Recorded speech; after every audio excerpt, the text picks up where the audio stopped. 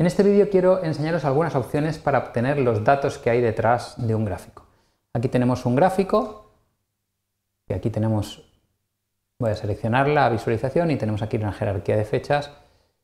Si pinchamos aquí nos filtrará toda la página en función de lo que hayamos seleccionado aquí, a menos que hayamos seleccionado esta flechita de aquí, con lo cual si pinchamos aquí lo que haremos será entrar dentro de ese mes y aquí podemos ir para. También tenemos la opción de mostrar como tabla donde nos pondrá los datos en los que se basa lo que estamos viendo, ese resumen lo veremos aquí. Y esto mismo, si entramos dentro, pues tendremos los datos de la vista que tengamos. Y aquí podremos exportar los datos a CSV que hay detrás del gráfico. CSV, texto separado por comas, que tendrá un formato, pues igual en algunos casos tiene formato anglosajón el número con la coma decimal un punto, o va separado por comas en vez de punto y coma. Cuando lo vayáis a importar ya lo veréis. Bien, aquí volvemos al informe porque esto no es lo que yo quería comentar. Lo que yo quería comentar es que una vez seleccionado la visualización tenemos más datos que podemos sacar de aquí en datos y detalles. ¿Vale? Por un lado, tenemos este mismo botón, que es la tabla visual, la misma que hemos visto antes, ¿vale? que podemos quitar haciendo clic o dándole a volver al informe, exactamente igual que antes.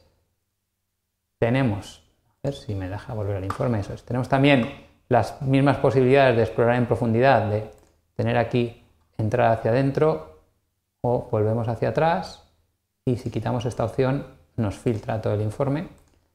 Tenemos otra posibilidad que es que cuando vayamos entrando los filtros que vayamos seleccionando aquí, se vayan, fijaos que este botón de aquí es equivalente a este de aquí, se vayan aplicando a todas las demás visualizaciones de la página, ¿vale? O si no queremos eso, podemos decirle que se apliquen solamente a este gráfico. Objeto. Y ahora, cuando entramos aquí, veis que tenemos aquí seleccionado para entrar, entraremos y esto no habrá cambiado. Muy bien. Y luego tenemos la posibilidad de tabla de punto de datos. Esto significa que si lo ponemos así, lo tenemos seleccionado, cuando nosotros pinchemos aquí, nos va a desplegar los datos desagregados de ese punto.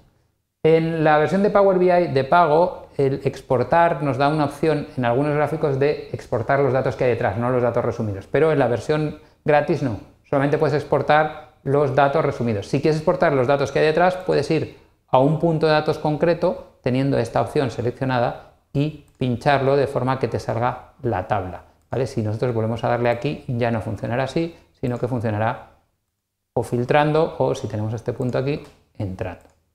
Bien, con esto termino este vídeo donde os he contado algunas opciones adicionales para obtener los datos que hay detrás de un gráfico y también cómo activar y desactivar las distintas formas de navegación si hay una jerarquía, si entraremos o nos filtrará el gráfico.